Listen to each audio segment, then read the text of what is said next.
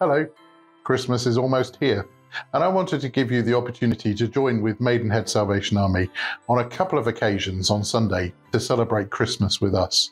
We meet first at 10:30 a.m. in the morning as we encourage each other to set our hearts on hope. St. Paul reminds us that the Christmas story is only the beginning of the end. There is so much more to come from God.